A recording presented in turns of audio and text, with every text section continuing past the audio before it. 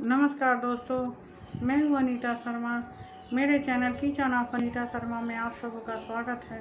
दोस्तों, इससे पहले भी मैं आपके सामने एक बार आई थी। आज मैं फिर आपके सामने आई हूँ। कोई रेसिपी लेकर नहीं आई हूँ। मैं अपने आप को बहुत ही रोकने की कोशिश की, लेकिन मुझसे रहा नहीं गया मैं फिर से आपके सामने एक बार फिर से आई हूँ।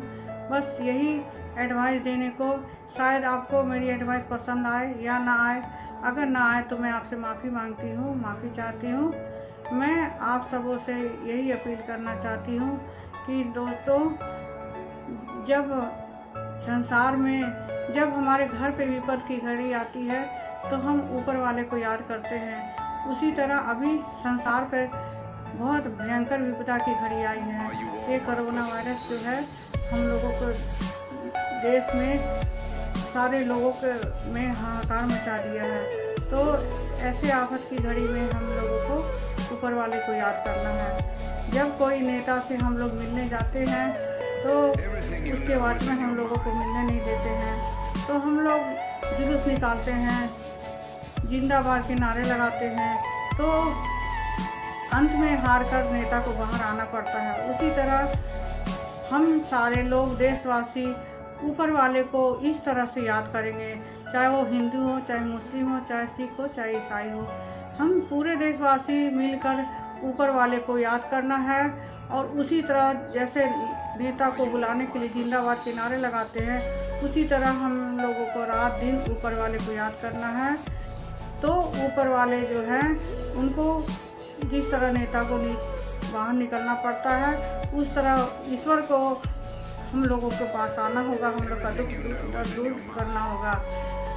तो अभी ऐसे हालात से बचने के लिए एकमात्र उपाय है, हम लोग सभी लोगों को रात दिन ऊपर वाले को याद करना है। जब हम लोग छोटे बच्चे रहते हैं तो माता पिता हम लोगों की दवाई भी करते हैं और झाड़ फूक भी करते हैं। तो अभी हम लोगों को दवा और दुआ दोनों की आवश्यकता है। डॉक्टर लोग तो हमारे, हमारी हेल्प कर ही रहे हैं। साथ साथ हम लोगों को ऊपर वाले को याद करना है।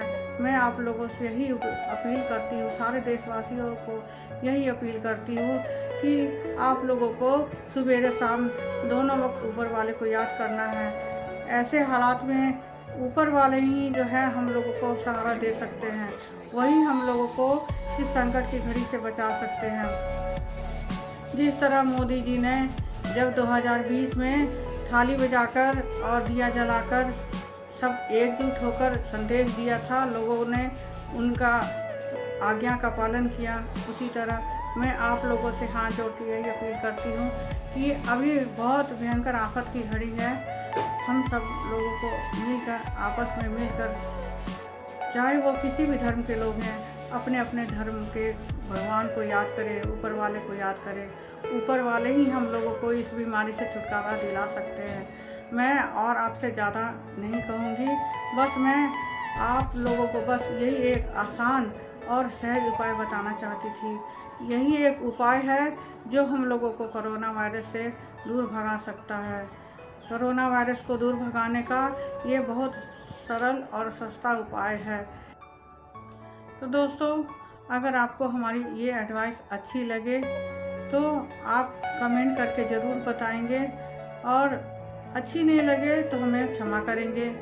तो मैं आखिरी बार, मैं जाते जाते आप लोगों से एक बार फिर हाथ जोड़ के अपील करती हूँ कि अभी ऐसे आफत की घड़ी में, संकट की घड़ी में हम लोगों को सुबह शाम तीनों वक्त जैसे मुस्लिम भाई लोग पाँच वक्त के नमाज़ पढ़ते हैं। उसी तरह हम लोगों को दिन रात ऊपर वाले से यही यही विनती करना है, हे ईश्वर, हम लोगों को इस संकट से मुक्ति दिलाओ। तो दोस्तों, बस आज के लिए इतना ही। मिलते हैं अगली वीडियो में, अगली वीडियो में नई रेसिपी के साथ।